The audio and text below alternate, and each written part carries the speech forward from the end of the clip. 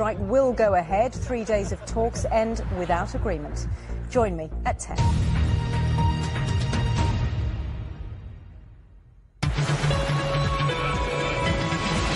Now on BBC One, Kirsty Young and the team present Crime Watch. Tonight on Crime Watch, the murder of Melanie Hall.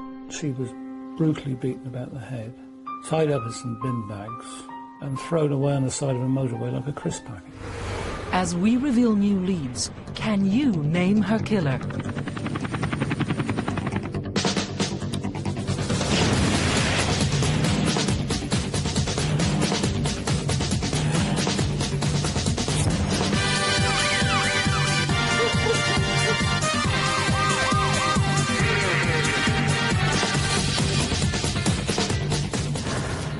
Hello and welcome to Crime Watch. We're live and the studio is packed with senior detectives from across the country hoping that your call is going to be the one that helps solve a major crime tonight. Like the murder of 25-year-old Melanie Hall, whose remains, you'll remember, were found near the M5 in Gloucestershire this month.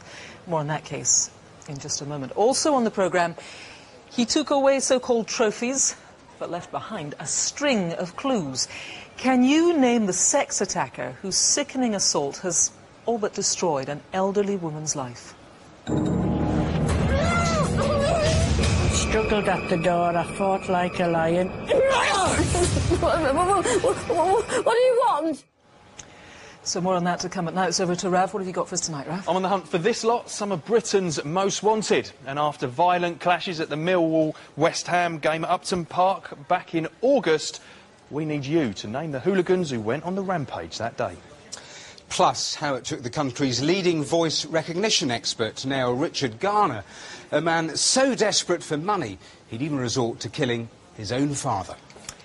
Thanks, Matthew. But first, a case that has really made the headlines this month the murder of Melanie Hall. Thirteen years ago, the 25-year-old graduate went missing from a nightclub in Bath. Despite a massive manhunt, and several appeals on Crime Watch, her disappearance remained a complete mystery. That was until three weeks ago, when her remains were discovered near the M5 in Gloucestershire.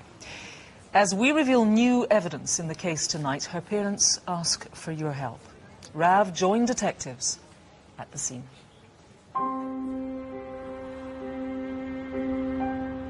There's growing concern for the safety of a woman who's been missing since the weekend. Police investigating the case of a missing 25-year-old woman are marking the second anniversary of her disappearance by offering a reward.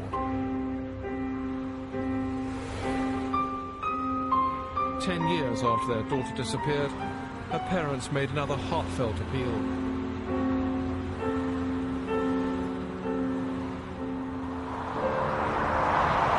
Earlier this month, workmen clearing this spot by the M5 discovered a black bin bag.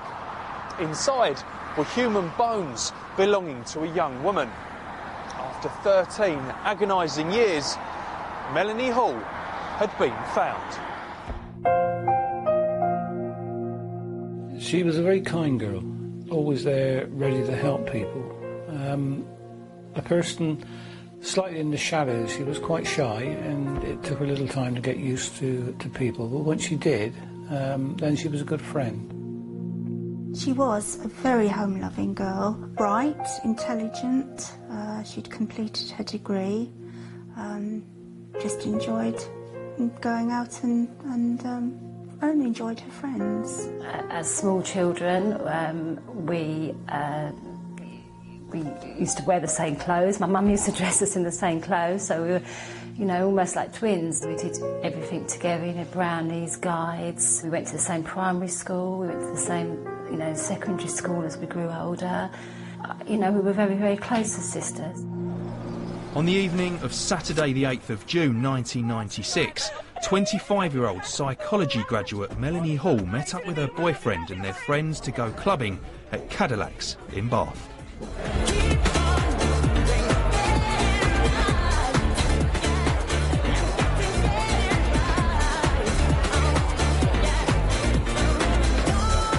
The early hours of Sunday morning, Melanie's friends left the club thinking her boyfriend was still there. What they didn't know was that he had already left without telling anyone.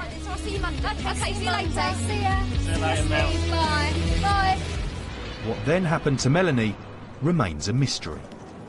I think probably over the first couple of years, probably we did raise our hopes every time the police came to tell us that there might be uh, some progress in the investigation. But as the years go by, there's no way you can function at that level every time somebody comes up with, with possibly some information. Since her disappearance nearly a month ago, Police diving teams searched this area of the River Avon at the time of Melanie's disappearance. Two men were arrested in connection with the murder hunt, but were later released without charge. As the years went by, I, I did believe, or began to believe, that Mel- whatever had happened to Melanie, that possibly she would not be found, or possibly not found in our lifetime. Part of the M5 north of Bristol remains closed tonight after the discovery of a set of bones next to a slip road. Uh, it's about quarter past 12 and uh, there was a team of workmen who were clearing the drainage ditch that runs alongside this slip road at junction 14. Uh, what happened was one of those workmen was trimming um, the vegetation down and he, he then discovered some bones, they looked like human bones, and a skull that was exposed.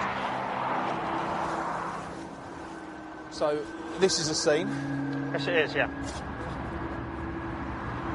I can show you exactly where the, uh, the body and the remains were.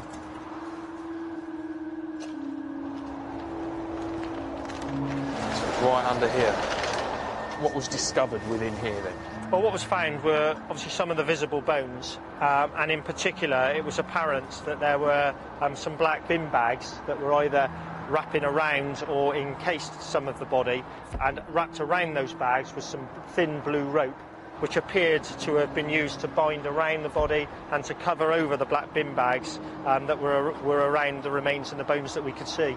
How did you identify who on earth this person was? Well, clearly I need some some expert assistance, and I had the assistance of a forensic archaeologist and anthropologist. And it was that forensic archaeologist who very quickly uh, gave us a significant breakthrough by looking at the exposed pelvic bones um, of the remains. And he was able to say that he believed it to be the body of a woman, uh, probably in her mid 20s. You also had another crucial lead that came about from here as well. Yes, we did. As they were. This ring had a, a floral type eye relief type pattern on it. My hand. Uh, which was quite distinctive, and it appeared to still be on a finger bone of the remains. And clearly, it was at that point that we suspected that these may be the remains of Melanie Hall. When the police arrived in the evening with these photographs um, and we looked at them, it was very obvious from the photographs that this ring had a, a floral type eye relief type pattern on it.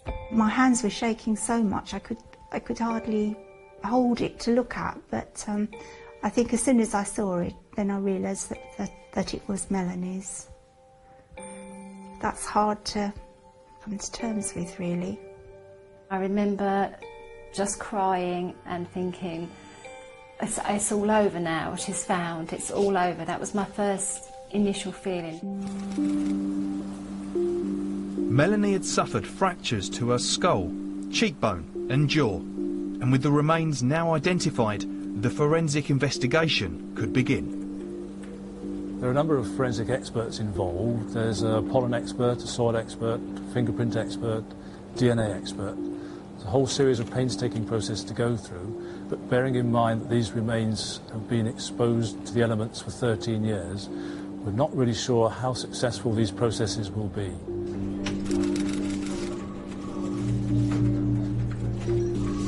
So everyone's working on this case. So what areas are, are individual people working on? In 1996, there was a huge investigation, and at that time, uh, there were literally thousands of statements taken from different people. And uh, staff on this investigation are revisiting and reviewing lots of the, uh, the investigation that was conducted all those years ago. I've also got staff looking at CCTV that was recovered back from 1996. Uh, and obviously, since the discovery of the body, we've had a number of calls from members of the public. There's a lot of officers devoted to researching that information and, and seeing how that can help us progress the investigation. What you still need to determine is what happened to Melanie all those years ago. Absolutely. Uh, we can't rely on forensic evidence in this case, and I am sure that there are people out there that know what happened to Melanie. They know what happened to her in Cadillac's nightclub, and they know where she went and who she was with, and how it was that she came to be left by the M5 at junction 14. And I would appeal to anyone who has got information that they haven't revealed for 13 years, for whatever reason, now is the time to come forward. Now is the time to help us detect this crime and bring to justice Melanie's killer. I know that she's been found, but no one can tell me exactly when she died and, and exactly how she died. And, and um, if you asked any mum, you know, they, they worry about their children when they're tiny and you, you lose them on the beach and you can't see them for five minutes, you know, your heart sinks. And it's exactly that feeling, and that's every day, all day. Knowing that she'd been murdered and dumped by the side of the motorway, I really felt the fear for my sister, which is something I hadn't allowed myself to feel for a long time because it's almost too painful to go there. 13 years ago, we had a beautiful, vibrant daughter, you know, on the threshold of life. We now know that she was brutally beaten about the head, tied up in some bin bags, and, and thrown away on the side of a motorway like a crisp packet. And our focus now is very much on finding the person or persons responsible for that terrible act. I'm joined now here in the studio by Detective Superintendent Mike Courtiour. Um, an ache every day, all day, we heard there. But it seems to me that family are very strong despite everything they've been through. Yes, they've been extremely courageous and shown great dignity over the last 13 years. What they need to know now is who killed Melanie and why. It's early days for you and your team, but you want to reveal to our viewers something tonight that may be important in the investigation. What is the new evidence? Yeah, well, significantly, very close to Melanie's remains, we found some car keys. We know that they're Ford car keys, and we know that they were produced for a vehicle that was manufactured in the mid-1990s, which is the period that we're particularly interested in. And we really need to know what vehicle do those keys relate to, and what connection is there with Melanie. Okay, now you don't need Ford dealership people phoning in and telling you about the keys, because you know a lot about the keys, but it's, it's the bunch of them that's quite distinctive in that grouping, and they also have uh, a tag that might be important. Yes, they do. There's a red master key, a programming key, um, which is together with two ignition keys and an identifiable tag. Now, it's the tag that relates to the keys and not to a particular vehicle. So we don't know which vehicle these keys relate to. We don't know whether they're connected to Melanie's disappearance and her murder, but they have been found in very close proximity and we just really need to know what is the story behind these keys. What about forensics? Anything important there? Well, we know that Melanie's body was wrapped and covered in black bin bags Yeah. and then tied up with rope similar to this.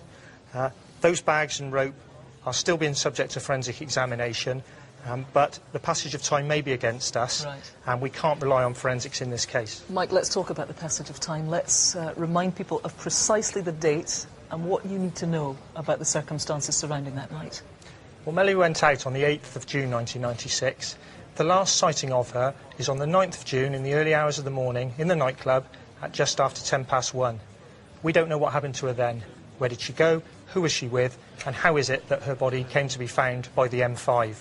And what we really need to know is from anyone who does know, who has kept quiet for 13 years, please speak to us. Please come and tell us what's happened so we can identify finally Melanie's killer and bring them to justice. Okay, Mike, thanks very much. The phones are already ringing here, I have to tell you. There is a very big reward £20,000 for information leading to an arrest and a conviction. So please do call if you know anything, possibly, that could help. Melanie's family surely have suffered enough. Our number is 0500 600 600. If you want to remain anonymous, that's fine by us. You can call the independent charity Crime Stoppers. I'm going to give you their number too. It's 0800 treble five treble one. If you need to see the appeal again, to home in on some details, bbc.co.uk slash crimewatch. Right now, though, here's Rav with his most wanted. And starting off our wall of shame tonight is this chap, Paul Oliveira, wanted for sexually abusing a 14-year-old boy. He was arrested last year but went on the run and hasn't been seen since. Oliveira is 45 years old and has links to London and Belfast. Number two here is Polish bouncer Piotr Chervik, and he's wanted for stabbing a man in a bedsit in Bedford.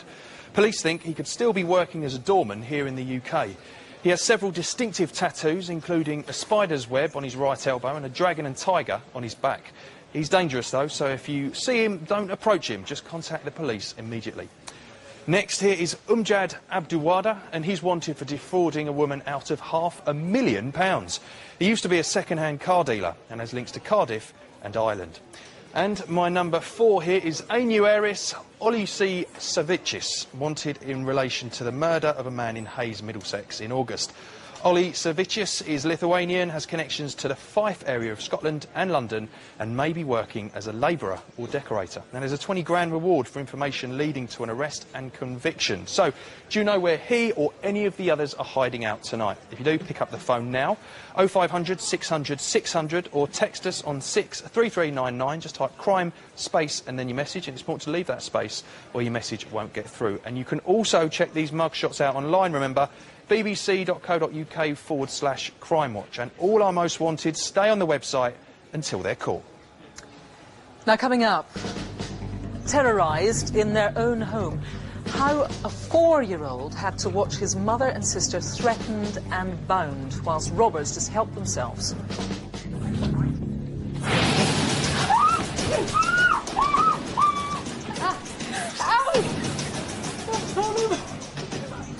After violent scenes described as a disgrace to football, will you be able to name the hooligans who went on the rampage at the West Ham Millwall clash in August?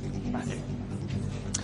And I've got the story of how detectives made an astonishing discovery when they proved that this man was responsible for bludgeoning to death his own father. So all of that is still to come. Now, though, a case that has sickened even hardened detectives. The sexual assault of an elderly widow. It's taken enormous courage for Evelyn, as we're going to call her tonight, to speak out because police believe that she was targeted by someone who developed a very dangerous obsession. What followed on the 8th of March this year was horrific and something her attacker, who took so-called trophies of what he's done, wants to remember forever. If only Evelyn could forget. Well, the last few years, I was kind of restricted with my husband having Alzheimer's. After he passed away, I, I did continue going for my little walks because I so enjoyed it. Well, my mum was always an outgoing sort of person and very self-sufficient. She used to like going to keep fit once a week and she always has her hair done. We lost, lost our granddad a couple of years ago and um, and she's just started rebuilding her life and got back into a, a routine really of going out and seeing her friends and she sees, you know, we're quite a close-knit family. She sees, we, we all see each other regularly. When all this happened, you know, obviously it was uh, a major setback. You try not to... Uh, well, you've just got to get on with your life, haven't you? And you can't worry families all the time. And Some crimes are such that it's difficult for anybody to get their head around. A sickening sexual attack on an elderly lady in her own home is one such crime. However, the attacker on this occasion left us with so many clues that I'm sure, with your help, we can catch him. We need to go back to the start three years ago.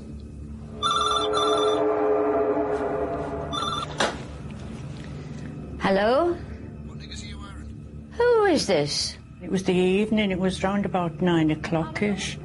And know, lifted the phone and this voice was asking me questions, what I was wearing and things like that. I just put the phone down and he rang back again about five minutes after. He threatened me, he said, don't you put the phone down. He said, you answer my questions or else. Well, this happened three times. And the last time, uh, he threatened to burn the house down and, and harm my family. Overnight, I took the phone off and I thought, well, that'll be it now.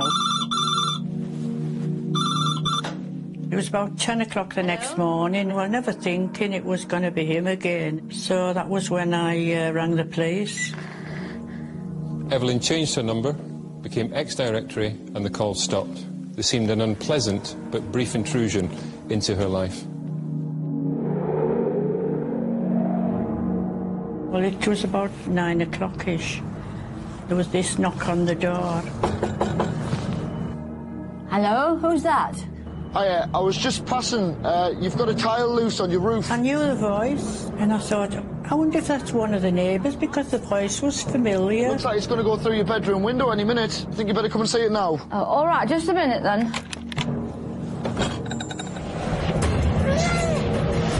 The man we're looking for was wearing a beanie hat. He was unshaven, he had round glasses on, stocky build, spoke with a Carlisle accent, and Evelyn noticed that he reeked of tobacco smoke. And I thought, oh, it's not a neighbour, I know where that voice is from. It's from the phone calls. It was so distinctive. We struggled at the door. I fought like a lion to get him out, and I was screaming. He put his hand over my mouth. Well, I, there was a finger, so I bit into this finger. and the blood started pouring out. Blood gave us a full DNA profile. However, he was not on our databases. If you give us a name, we can eliminate the innocent with a simple mouth swab. What, what do you want? What, what is? What, do you want money? You want money? Yeah, yeah, I want money. Just a minute. I'll, I'll, I've got some here. I'll, I'll let you have it. I've got money. Take this money and then go. Go away. Go on. Go now. Go on. Off you go. No, What do you mean no? after this. Oh no! Please no, no, no, just please, do no, this. no, no, please, Just no. do this and I'll go. Oh no, please, oh, oh, no, no, no, please, no, no, no, no. Evelyn was subjected to a horrendous and prolonged sexual attack. Before he left, he gave us further clues. This was a man with a disturbing fetish. He wanted trophies. What are you doing? What are you doing? Just clean your face up a little bit. You've got, you've got some of my blood on your face. Go away. Go away. Okay. Come on. It's better. I don't you. Pants. I'm taking your pants. Listen, if you tell anybody about this, I'll burn your house down. I, I know your grandson, right? I know he works for the railways. I can have him killed. I'll make it look like an accident. So you don't say a word to anyone, okay? Do you understand? You're pathetic, you are. You're pathetic.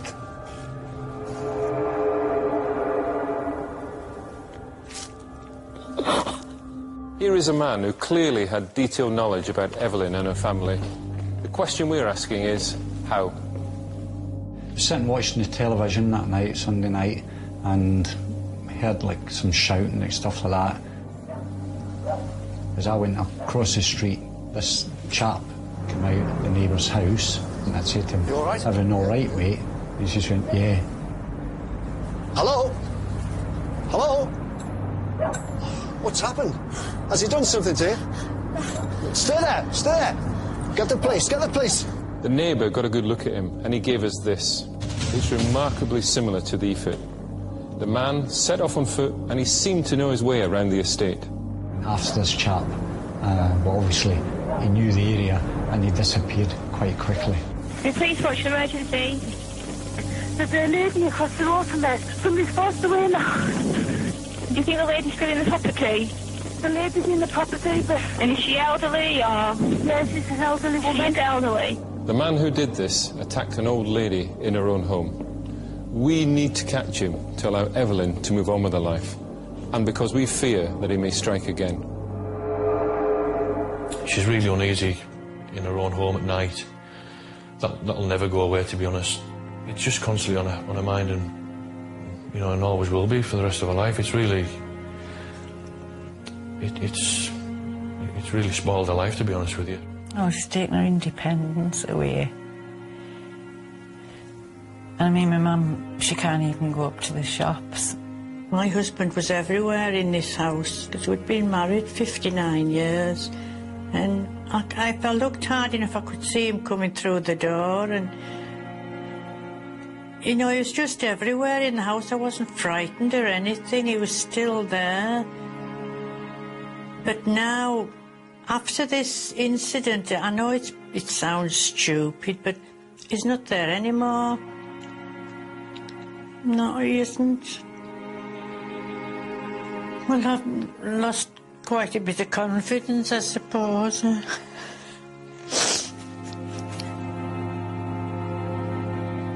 Just horrendous, really. I'm joined now by DCI Jeff Ashton, who we saw there from Cumbria Police, and behavioural psychologist Pippa Gregory. Uh, to you, first of all, Jeff, as we heard uh, that elderly lady say, she fought like a lion, but that was an horrific attack that she went through. How is she doing now? She's a remarkable woman, Kirsty, uh, very strong, but clearly badly affected by this, and will continue to be affected until we catch this offender. Lots of good leads. Let's start with the E-fit, and you've also got an artist's impression. Just, just take us through the description. Yes, the artist's impression. Um, wearing a, a distinctive grey beanie-type hat with a brown and red stripe round it. Uh, wearing glasses, either black or gold-rimmed. Um, but they could have been a disguise, we don't know. So I'd like people to concentrate on the face if they could. Uh, the description is, we know he's a white male. He's about five foot four to five foot seven tall. Stocky build, In terms of his age, quite a wide profile. You think maybe something between 35 and uh, 55. And tell us, where was, where was he last seen? Where was the last absolute sighting of him? The last absolute sight of him was in uh, heading towards Cumwhinton Road on the Harraby estate, uh, about 10 past 10 at night. We think he may have local connections, uh, and he clearly has some knowledge of the rail, the railway. Yeah, because he seemed to he seemed to know how to get out, didn't he? Um, he did, yes. You have got CCTV of somebody that you are interested in uh, tracing. Tell us about this person. Yeah, this is a man we need to eliminate from our inquiries. Uh, this is at 10.15 on Petteril Bank Road, just off London Road uh, on the other side of the estate at Harraby. Uh, and we need to eliminate from our inquiries, and uh, we'd ask anyone who knows him to give us his name or he himself to come forward, and uh, we can eliminate him. Okay, and people can have a closer look at that again on our website. Really important to this case is you have a full DNA profile. That, that must be crucial. Oh, absolutely. We have a full DNA profiler, and my stance throughout this inquiry has been, give us a name, we can eliminate people very easily with a simple mouth swab, you know.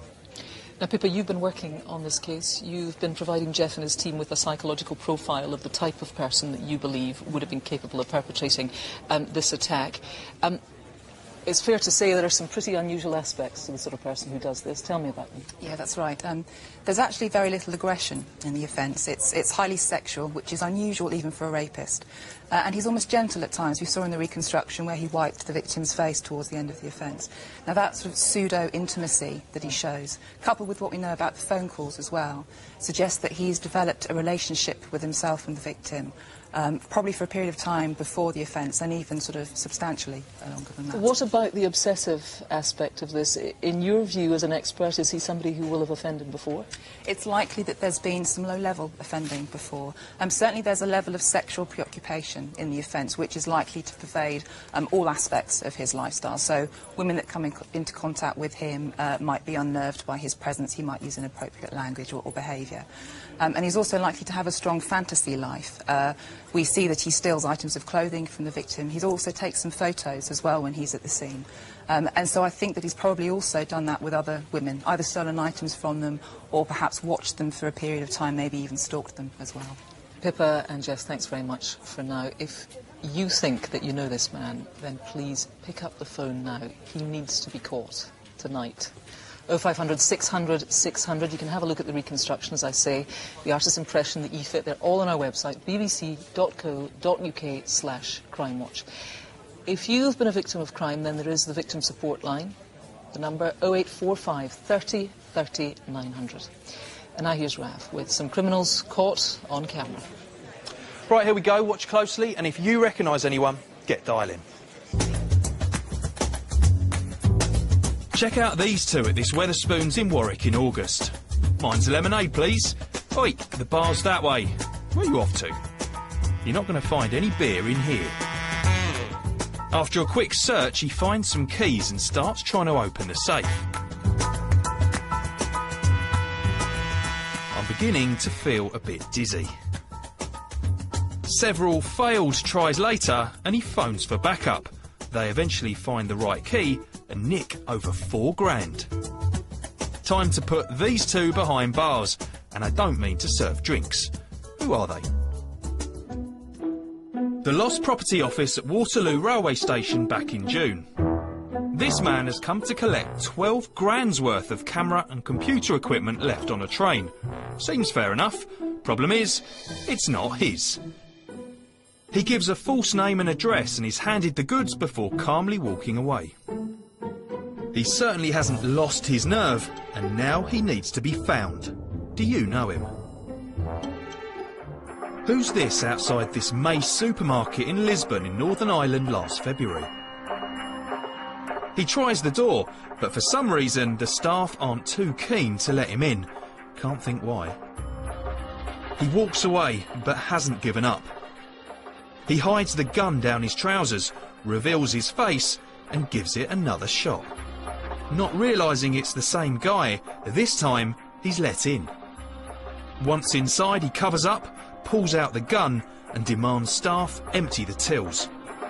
He's armed, dangerous, and needs stopping tonight. So take a good look.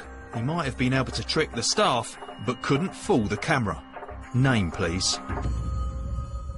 A night on the tiles in Greenwich, South London, in August. Watch the man in the yellow top eyeing up the bloke with his girlfriend. He casually walks past and, without warning, goes for him. And then his mate knocks him out.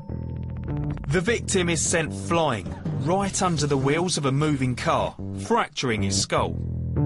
While he lies in the gutter, his attackers run off like cowards into the night. The victim is lucky to have survived. These thugs must be stopped before they seriously hurt someone else.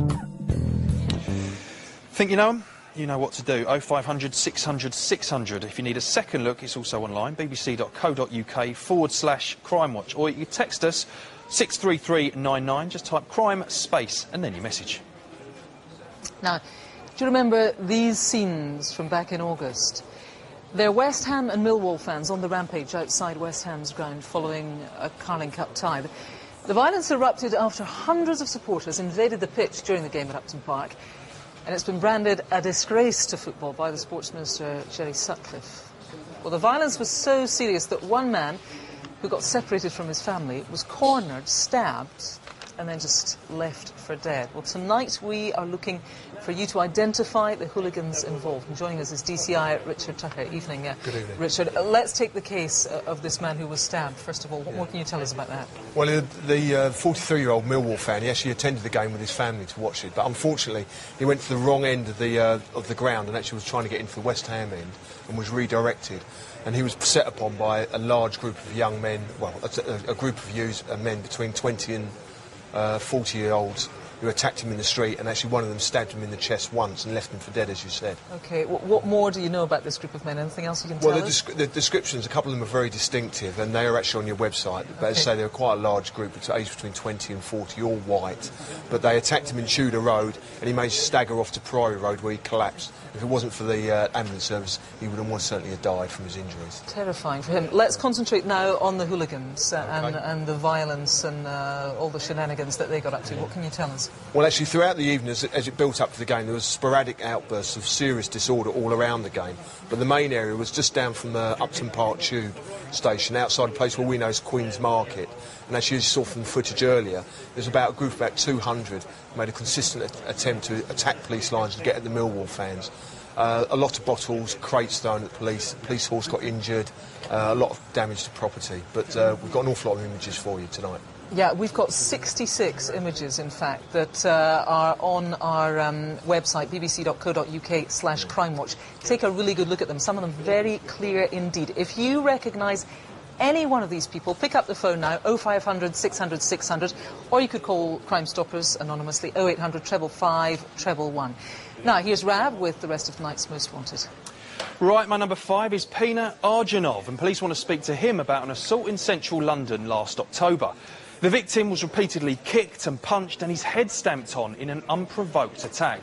Pina is from Turkmenistan and before he disappeared was a student at the Pimlico Academy in South London. Six here is Paul Bawaki Dankar, wanted for conspiracy to import £1.8 million worth of heroin. Now, he walks with a limp and sometimes calls himself Palgrave. He has connections to the Hammersmith, Fulham and Chelsea boroughs of London and could be violent, so if you see him, steer clear and just call police immediately.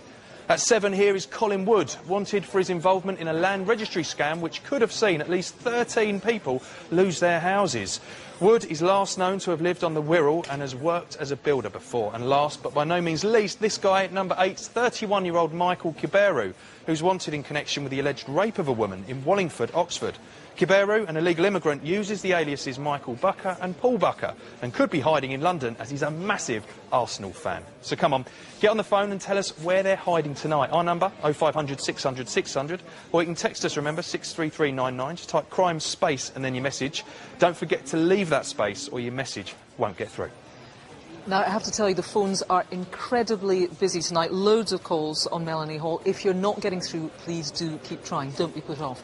Now, our next case is one that the detectives here desperately need your help to solve. Last month, Tracy, her 16-year-old daughter Amy, and uh, little four-year-old Jake here were targeted at home by robbers determined to get what they wanted at any cost.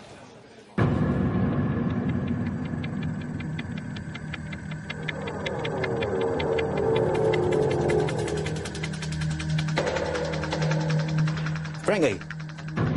Yeah, you fancy an old banger racing tonight? Yeah? All right then, I'll meet you in the bar about six, yeah? Okay, mate. Bye.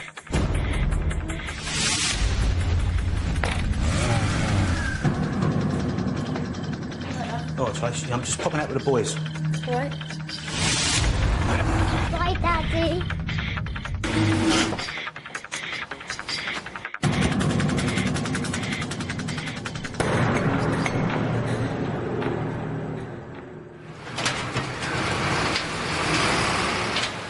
What I do is uh, do skip hire.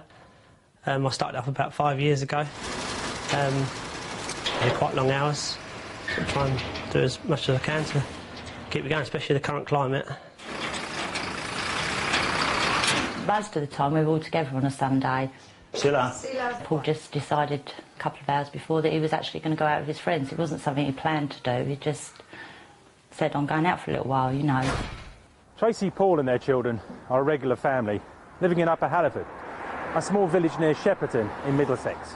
Nothing much happens here, but six weeks ago a gang arrived. They were prepared to use violence to get what they wanted. Right, Mum? Um, what's for dinner? Let me just sort out the dog a minute and then I'll put Jake to bed and sort you out. What about banana, lovey? Brilliant, thanks, Mum. Read me a story. You've already had one, lovey. Go to sleep, it's getting late. Tuck in, Jakey. Night night. I was watching TV and then there was a bang on the door. And I thought to myself, oh, Amy's friends are here because she was going out. The New Forest in Hampshire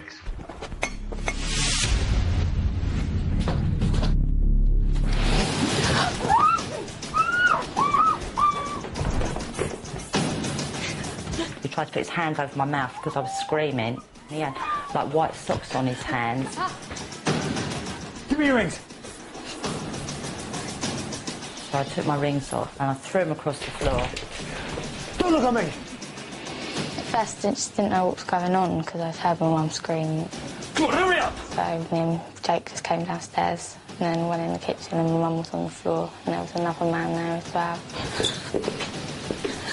Right, it's all right, it's. Where's the safe? It's upstairs, Mira. Show. I didn't know what they was going to do, whether they was going to hurt us or just take it and go. The men knew the family had a safe, but how? Right, where's the safe? It's down, it's down under the bed. Right, open it. I couldn't remember the number. I just couldn't remember it. I kept trying and it was going bleep. Come on, hurry up! Come on! Please. I'm thinking all the time, what are they doing to my children downstairs? I'm not about open the safe! Please, come Listen to me. If you don't open it this time, we're going to hurt your kids. Now open the safe! I, I think I tried it three times before I actually got the right number. Right. He um, shoved the money down his tracky bottoms and noticed a flat stomach, like so it's like somebody that would go to the gym in his white Calvin Klein pants, sticking over the top of his tracky bottoms. Come on, let's go.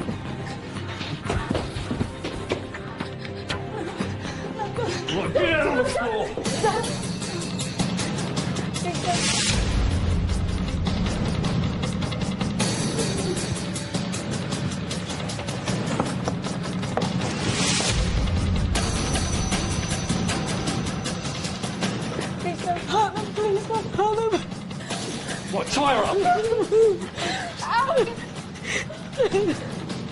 Ow, you're right. Shut up. Don't tie him up. up. Don't tie him up.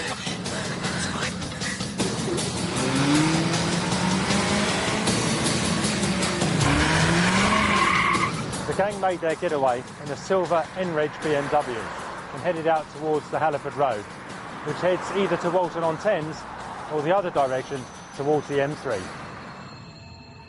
couldn't believe what they'd gone through. I felt guilty in a way that I was not guilty, but terrible. I wasn't there. That they'd gone through this horrific time without me being there. We found this industrial strength drain cleaner dumped in a flower pot outside the family house. Did the gang have it with them in case Paul was home? This is so strong, had it been thrown at somebody, it would have caused blindness or burns. I wonder why they didn't just burgle us when we weren't here instead of putting my kids through what they put my kids through. But the family's ordeal wasn't over. A week later, Paul's car was covered in corrosive acid. This can't have been a coincidence. Somebody has a vendetta against this family, and we want to find out why. Jake asked me what happened, and I tried to, you know, try and think of a story up, and he turned around and said, Have the bad men come back, Daddy? It just turned my stomach inside out. I mean, we all live with the fact we might get burgled one day. It's the life we live, but not three blokes knock on my door and ran through and terrorise my children. No way. We strongly believe that someone has given this information to these people, and they're obviously very close to us, and the betrayal is, you know, that's what makes you sick to your stomach, that you've obviously took someone into your house and been generous to them, and they've done this to you. Well, I'm joined by DS Debbie Crouch, who's part of the investigating um, team. Very fam- uh, terrifying, really, for this family to go through this. Yes, after the first incident, they were very shaken up, and then someone vandalised their car. Now they live in fear that these men might come back. For them, the ordeal won't be over until these men are caught. You think there's more than a robbery that's gone on here, then, do you? Yes, not only did they steal cash and jewellery, but a week later they returned and vandalised the car, which leads us to believe that it might be a, another vendetta or something. Do you think this whole event would have been made worse if Paul had actually been home? Yes, as was mentioned on the film, they brought with them Yeah. this drain cleaner, which is the extr- strongest one on the market. And we think that if um, Paul had been there, they might have obviously used it against him. Now, since we've uh, filmed our reconstruction, you've had a breakthrough. Can you tell us a bit about that?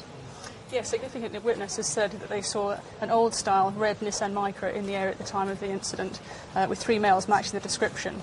Um, we believe this might have been an MREG. We're obviously keen to hear from anyone who might have seen that vehicle on the night to the 13th of September. Okay, you say three guys. You've got good descriptions of two of them. Can you take us through the descriptions? Yes, the lead male was in his 40s, um, tall and stocky with greying hair, and the second male was in his late 30s, um, shaved blonde hair, and was very tall and skinny. Okay. Can you tell us a little bit about the rings that, that were stolen? Yes, one of them was her grandmother's, um, one was an engagement ring, and the other was an eternity ring that had been given to her by Paul. Um, they are very similar to the ones that are shown, but these are not, they're not exactly the same. Um, significantly, the size, I believe, is an I, size I, which I think is one of the smallest sizes out there. Okay, so that might strike people if they've been offered them or somebody's tried to sell them one. Okay, Debbie, thanks very much for now. If you can help, then call or text us now. There are the numbers on the screen 0500 600 600. The text number is 63399. Now here's Rav and Matthew with an update on some previous cases. First, remember these from last month? They're just some of over 50 racist hate mail letters sent to addresses across England and Scotland since January 2007, including the Prime Minister's constituency office in Fife. Police believed one person was behind them and asked if you could recognise the handwriting. Well, the appeal generated over 100 calls, leading the police to other victims. This led to the arrest of a 70-year-old woman and a 36-year-old man from the Fareham area of Hampshire. And we'll keep you updated on that case. Now, a remarkable story which shows just how important your call can be. Back in 2006, we featured the brutal rape of a 48-year-old woman in Exeter city centre. The victim was beaten, robbed and left for dead.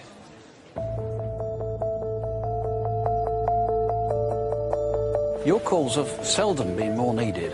than in our first case tonight. We need them to find the rapist who wore a football top like this. It says Exeter Friendly on the front. There was an article on Crime Watch um, with the police guy on there, and there was two girls who I knew at the time. I met some detectives. They spoke to me. I told them everything I knew. Told them where the two girls lived. It was the vital link that police needed and led them to this man, Jakub Tomczak. He was found guilty of the attack and given two life sentences. But that wasn't the end for Lloyd, and what he did next was extraordinary. I was told I was entitled to some reward money, but I gave it to the victim. I didn't feel like I deserved it at all, um, and the s- state that the girl was in after the incident, I really thought it would go towards making her life a hell of a lot better than myself. Well, an amazing chap, and proof that just a single phone call can make all the difference. When 59-year-old Frank Garner vanished from the quiet East Yorkshire town of Goole three years ago, there was only one person who knew the truth behind his disappearance. It would take a huge and complicated manhunt and some of the most advanced forensic techniques in the world before detectives could finally discover who the person with that secret was. Matthew takes up the story.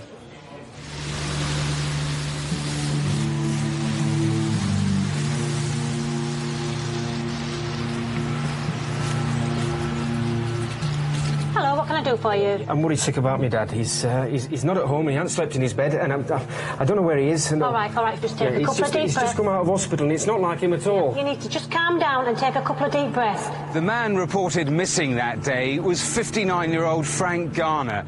The retired factory worker had apparently vanished without a trace. It would take dozens of detectives, hundreds of man-hours, everything from expert voice recognition analysis to extraordinary forensic work to finally reveal the shocking truth behind Frank's disappearance. A lovable rogue is the best way to describe him. Just a lovable rogue. Richard was the first and foremost in his life. He thought a lot about that lad. He loved that lad. Our lad this and our lad that. It was Frank and Richard, always.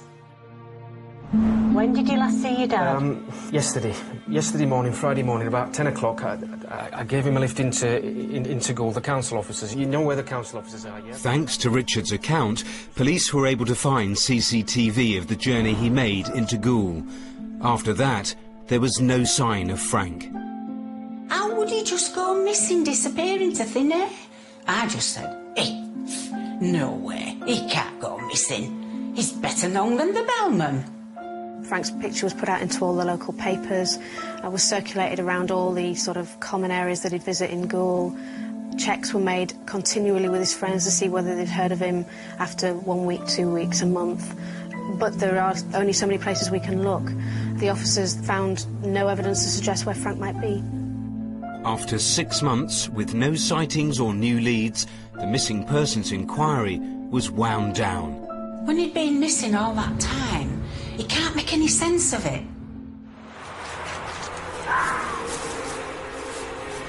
Three years later, a local man looking for rabbits made a gruesome discovery.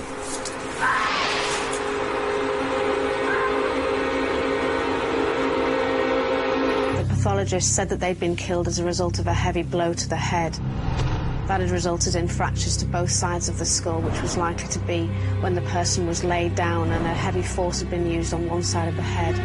Hidden among the bones were two tiny plastic tubes, and incredibly, they would hold the key to identifying the body.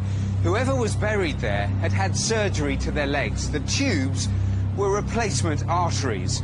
Detectives fed that information into the missing persons database, and one name popped up Frank Garner. They had to tell me that the remains that were there were Frank's. Well, you cry, and you don't want to believe it. But you have to believe it. You're thinking, why would somebody want to do that? Why would they want to take his life?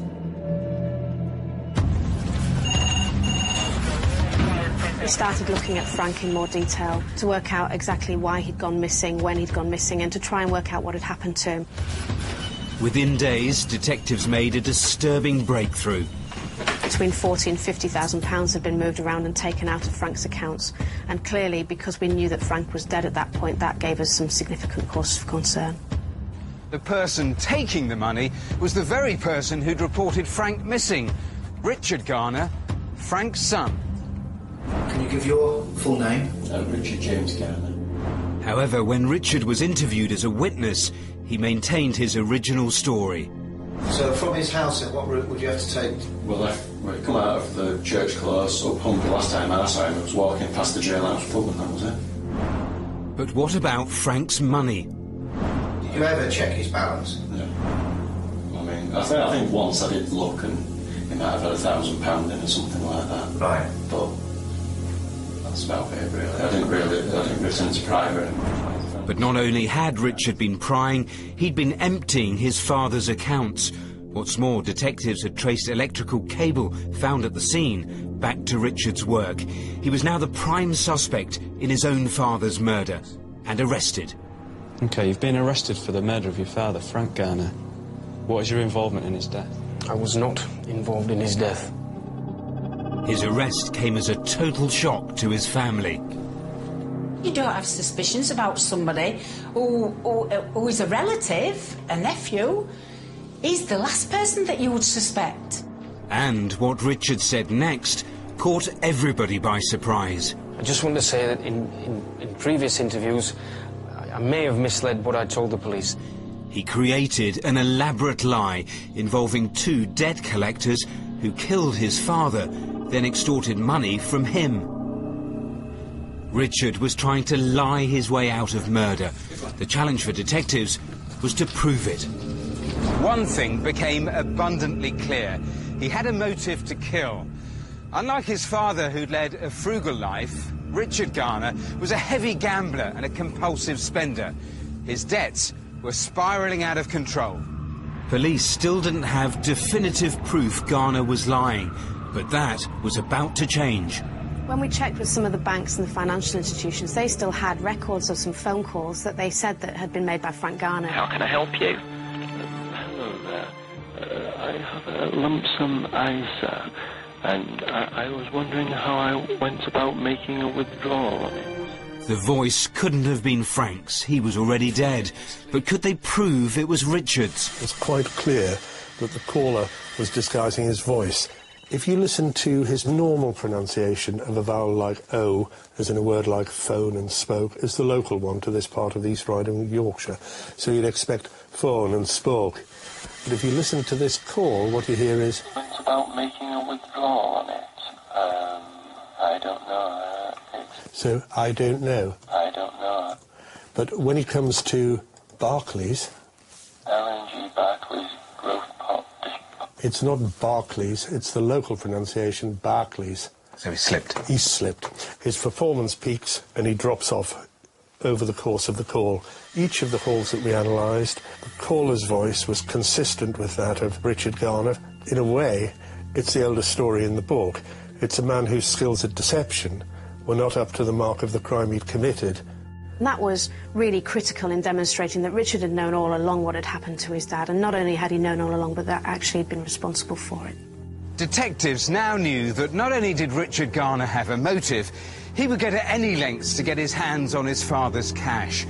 But one thing remained a mystery, and that would take them right back to the start of this investigation. Was Frank in the car with Richard that Friday morning?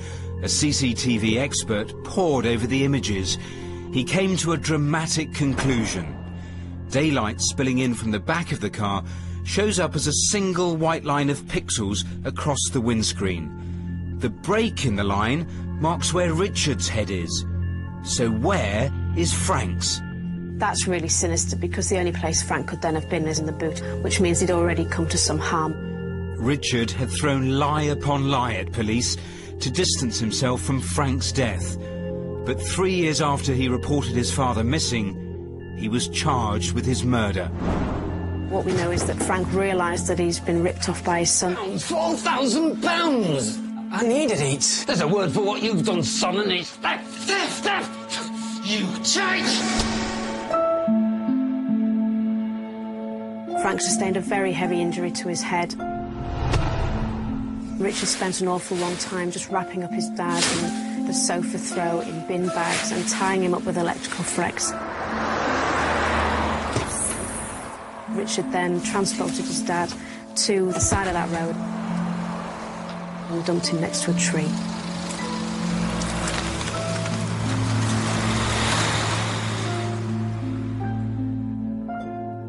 You just have to try and think logically and positively that you're sat on the beach in Spain and not. Yeah. You know, something's happened to him. Richard Garner, a compulsive gambler, pathological liar, and murderer. A man desperate enough to kill his own father. In February, he was found guilty by a unanimous verdict and sentenced to life. How do you stand in front of your own father and murder him? I wish somebody would tell me, because I don't know. I don't know how you can do that. It's a good question, Matthew, how you can do that for Mary. Yeah, it's shocking, isn't it? Murdered by your only child for money. He started stealing from his father when Frank went into hospital using his cards. When he got out, he then started sending him threatening letters, pretending to be from debt collectors, demanding thousands. And then, even after the murder, he continued to drain those accounts. I mean, it's, it's quite something.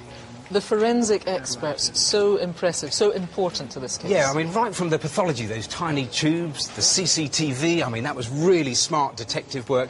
Then the voice detection, I mean, that's an area that is developing so fast. You know, they think within a couple of years the technology will be available to develop a national voice database, a bit like the DNA database for those instant matches. So that's the potential here of the raw science. You know, Professor French, I thought, was utterly fascinating. He has worked on some very big cases. He has. He was used as an expert witness in the Slobodan Milosevic trial at The Hague. He was also used in the Who Wants to Be a Millionaire trial. Do you remember that trial with the, the major, Yes. the, the coughing scam? Now, Peter was the guy they brought in to uh, examine the studio recording, the sound, and to, to work out who in the audience, 260 people, was helping the major. He did it. Yeah, I mean, it's an amazing area of work. Uh, Richard Garner, life he got, did he? Yeah, life with a minimum of 16 years. Always interesting, thank you, Matthew. Uh, now, the phones have been red hot tonight. Let's go over to Rav. They certainly have, Kirsty. We have had well over 100 calls on Melanie Hall. Remember, this is a case that is over 13 years old. Stacks of names given for the possible offender that's finished this young lady's life. However, we don't need any more calls on Blue Rope because some of you, understand, are struggling to get through. If you are, please keep trying and tell us what you know. We have got loads more to tell you about the football violence, the CCTV, the faces and the Carlisle sex attack. So please join us in the update programme. We'll tell you more. Oh, what a night. That's all for now. Details on all of tonight's cases will, of course, be online, bbc.co.uk slash crimewatch. You can log on right now for a live update on what's been happening here on the phones. It's been an incredible night, really, really busy. The lines are open until midnight tonight and from 7.30 in the morning. Our next programme, that's going to be just in a fortnight, Thursday the 12th of November. Don't go away, because we're going to be back tonight after the news with a full update on all of tonight's cases. If you can help, but you haven't called yet or you can't get through, please do call again. It could all be down to you. I'll see you at 10.35.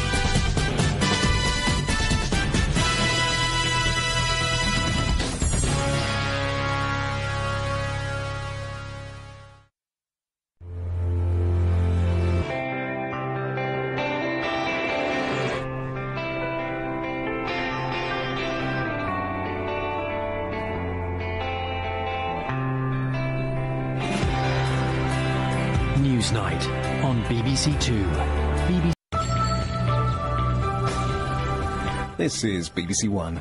Now, the BBC 10 o'clock news with Sean Williams and Louisa Preston. Safety was sacrificed to cut costs. The damning report into the RAF Nimrod crash. 14 people were killed when their plane exploded. The review says their deaths were preventable. The families say those named should be held to account. I think there should be resignations from um, someone at the top for, like I said, for allowing this to happen. The report blames individuals, businesses and the Ministry of Defence will be assessing what it means for those involved. Also tonight. Death and devastation in a Pakistan marketplace. A car bomb kills 90, hundreds are injured. We talk to MPs' wives as further details emerge about the expenses review, and they're not happy. I'd sooner that they actually put all MPs in the stocks, threw rocks at them for a week or two, and then we went back to normal. The postal strike is on tomorrow. Days of intensive talks end without any agreement. And eight times Grand Slam winner Andre Agassi admits taking illegal drugs and lying about it.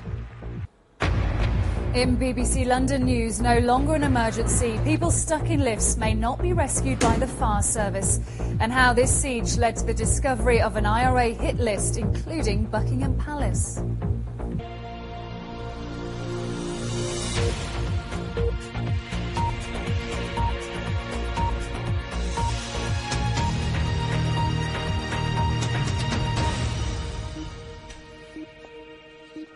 Good evening. The Ministry of Defence has been accused of sacrificing safety in order to cut costs in the most devastating criticism of the department in living memory. An independent report into the deaths of 14 men who were killed when their RAF Nimrod exploded over Afghanistan three years ago has found their deaths could have been prevented. The report says the accident happened because of years of complacency. Safety reviews were riddled with errors and financial cuts led to a lack of care and professionalism. Here's our defence correspondent, Caroline Wyatt. The largest single loss of life for the armed forces on operations since the Falklands War. It left 14 families without their sons, their husbands, their brothers. The result of what the Nimrod Review termed a story of incompetence, complacency and cynicism. These were the 14 lives that should never have been lost. The servicemen who died over Kandahar in 2006 when their Nimrod MR2 exploded in mid-air. Today, the chairman of the review, Charles Haddon Cave QC, delivered a damning report which condemned significant failures at the MOD, the RAF, and within two of Britain's leading defence companies, BAE Systems and QinetiQ. Tragically, for the crew of XV230, the lessons have come too late and at an infinite price. The most fitting memorial to the loss of the crew of XV 230 will be that the lessons from their sacrifice are truly learned and the recommendations set out in my report are fully implemented. This plane shouldn't have been in service by 2006, but its replacement, once meant to be flying nine years ago, is still not ready, thanks to poor procurement. The review said that since 1998, financial pressures and cuts at the MOD led to a shift in culture and priorities towards business and financial targets at the expense of safety and airworthiness. But we do recalibrate that. In the House of Commons, the Defence Secretary Bob Ainsworth offered this apology. The report's a tough read. The subtitle of the report, A Failure of Leadership, Culture and Priorities, is a stark judgment. We're determined to